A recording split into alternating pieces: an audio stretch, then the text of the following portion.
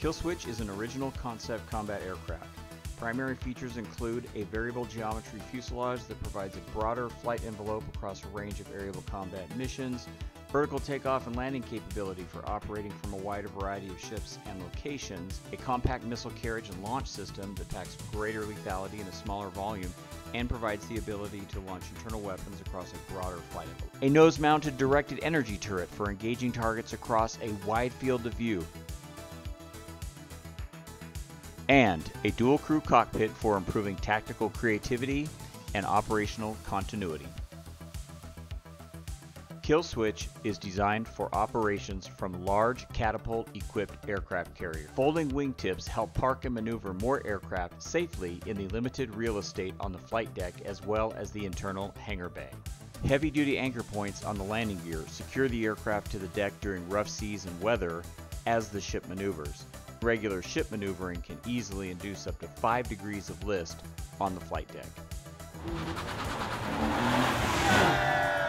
Built-in boarding ladder and access systems on the aircraft are designed for high-tempo, frequent use and reduce the amount of equipment needed on the flight deck. The Killswitch built-in boarding system consists of a three-segment telescoping ladder and four identical retracting steps. Killswitch possesses necessary systems for both vertical takeoff and landing, as well as catapult assisted takeoff and arrested recovery. Catapult launches are advantageous because they increase the range and payload of Killswitch compared to vertical takeoff and landing. The range of a mission can be increased because the aircraft uses less fuel during takeoff. Also, a catapult launched Killswitch can take off with a greater payload of external weapons that would otherwise exceed the maximum VTOL takeoff weight. If you think you've seen the Killswitch canopy somewhere else, you're wrong. But it does mean you've been paying attention to good canopy design in general. The kill switch canopy does follow good function and form for all-around visibility and aerodynamics as seen in other aircraft, and almost never in other concept jets. But then it takes the concept to a whole new level by using two identical main canopy components which open mirror image on perimeter hinge mechanisms, similar to those seen on the F-35 and other clever existing aircraft. On climb out, Killswitch in closed configuration provides the cleanest, fastest climb rate. When greater maneuverability or lift at lower airspeeds is necessary, takeoff and climb out can also be performed in split configuration. Steep climbs to altitude are sometimes necessary to provide sensor and kinetic superiority early in a mission. Although the steep climb itself may be less efficient than a gradual climb, cruising at higher altitude is much more efficient. So, considering the overall length of a mission, the less efficient climb in the beginning may result in more time and efficient cruise, resulting in net greater efficiency and time on station.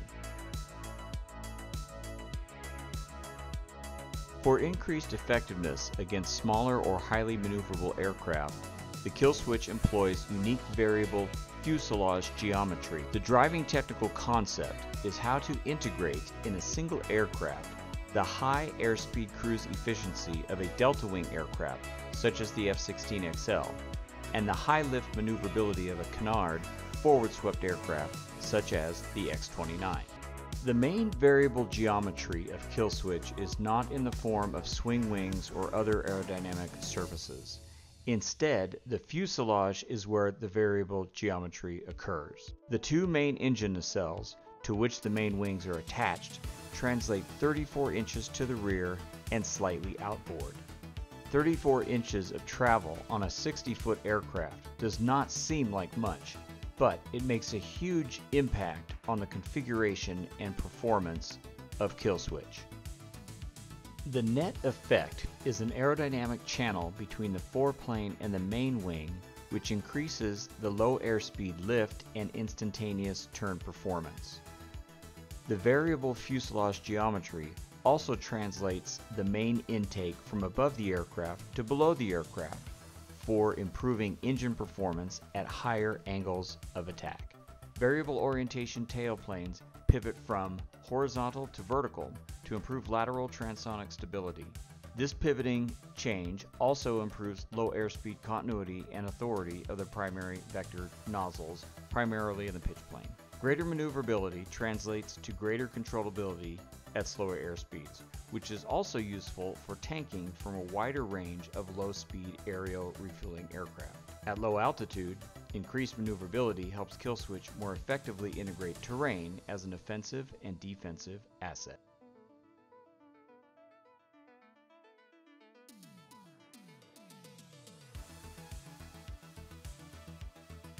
Killswitch is a vertical takeoff and landing aircraft. Primary VTOL features include 120 degree articulating main nozzles, top mounted auxiliary main engine inlets, not seen in this image, top mounted low profile as seen from forward aspect lift fan doors, forward fuselage lift fan providing downward thrust to two widely separated forward cool air nozzles. high sink rate, widely spaced landing gear. 120 degrees of articulation of the main nozzles means the thrust can be used to decelerate the aircraft on approach as well as assist in translating rapidly fore and aft when in a hover. The top-mounted lift fan doors present a very slim forward profile, so the lift fan can be utilized at higher airspeeds either on approach or during takeoff. Even before the lift fan doors open, they begin working. Forward of the main opening, during forward flight, a low signature Venturi inlet channels airflow from around the canopy into the lift fan chamber. The interior of the lift fan doors is not flat. Instead, it has concave curvature which channels airflow downward into the fan. The fan door curvature is more apparent in other photos. The bird's eye view of kill switch in VTOL mode shows the relative size and location of the forward lift fan as well as the main engine auxiliary inlets. Both ensure that air used for VTOL is sourced entirely from above the aircraft instead of from forward or beside the aircraft. The large planform of the kill switch, fuselage and wing in close configuration means total wing area contributes to overall lift efficiency even when hovering. The main and forward lift nozzles are widely spaced both fore and aft, as well as laterally. One advantage of this configuration is it eliminates the weight and complexity of a separate reaction control system for maneuvering in a hover. Differential thrust and individual control of separate vane systems ensures controllability. The utility of the kill Killswitch VTOL components across a range of gradually increasing airspeed makes utilization of ski jump takeoffs advantageous. It increases range and payload of the Killswitch when deployed from non-catapult equipped ships.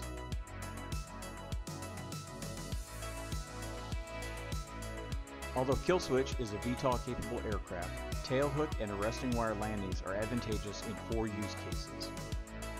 1. Reducing fuel needed for landing, thereby increasing range and or endurance of a given mission. 2. Reducing wear and tear on the lift fan and hybrid electrical components. 3. Reducing heat-related wear and tear on a flight deck. And 4. When weather or wind conditions make a VTOL approach hazardous. But the landing gear and crew take a beating either way.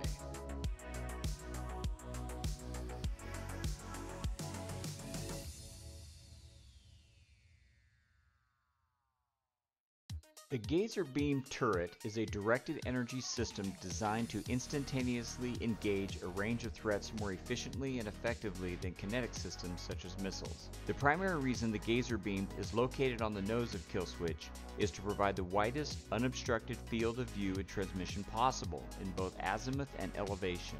Fuselage or pod-mounted unitary turrets would suffer a limited engagement envelope in order to minimize hazards to other munitions and the aircraft itself.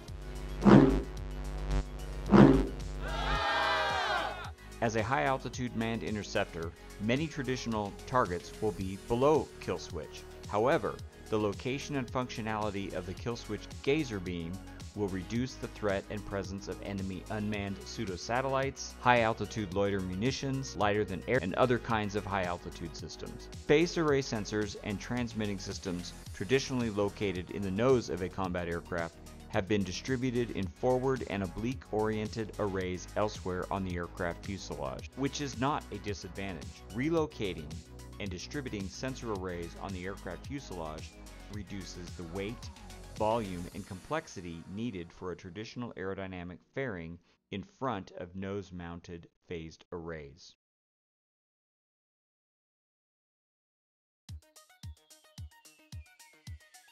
Killswitch features a compact missile carriage launch system called Shot Locker that packs greater lethality in a smaller volume and provides the ability to launch internal weapons across a broader flight envelope. Externally, it is characterized by a row of small individually opening doors visible on both the top and the underside of the aircraft. Internally, it is characterized by two rows of diagonally oriented launch tubes located in the center of the fuselage. In this image, Killswitch is simultaneously launching two boomstick short-range air-to-air missiles Guidance is infrared. It is rocket propelled and ranges approximately 18 miles. In this image, Killswitch is launching a Twister long-range air-to-air missile. Guidance is multimode RF and IR. Propulsion is rocket-initiated ramjet. Range is approximately 100 miles. Don't get too twisted around the axle on the performance of either the Twister or boomstick. Their performance is based on anecdotal comparison of emerging technologies and does not represent any leaps in capabilities. Concept designs, they were designed primarily to demonstrate what an innovative launch system such as ShotLocker could achieve. Small individually opening doors reduce aerodynamic disruption, reduce RCS changes during launch, facilitate higher launch airspeed, and reduce energy for door actuation during launch. Twister and Boomstick are designed to be proportional, to minimize wasted volume in the weapons bay. This view of the top open doors shows each of the forward eight bays carrying a single Twister long-range missile, whereas the aft two bays carry a total of eight boomstick short-range missiles, for a total of 16 air-to-air missiles. A single door malfunction will not compromise subsequent launches. Impact radar cross-section and aerodynamic performance of Killswitch would also be minimal. Underside doors are the exact same part number and function as the upper doors.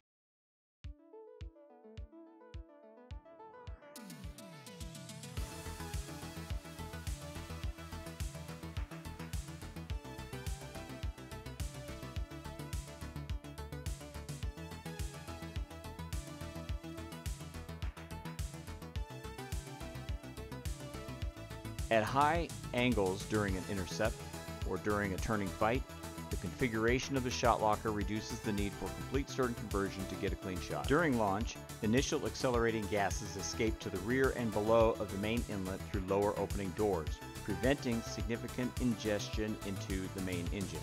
This below and aft view of a missile launch shows the small size and minimum opening provided by the kill switch shot locker system. This view also demonstrates the positional and kinetic advantage of being able to launch a short-range missile across the turn circle of a highly maneuverable target. Another advantage of the shot locker design is the ability to eject missiles rearward from the kill switch prior to igniting the missile engine. Two scenarios where this technique would be advantageous include 1 launching a missile when kill switch is flying at over Mach 2.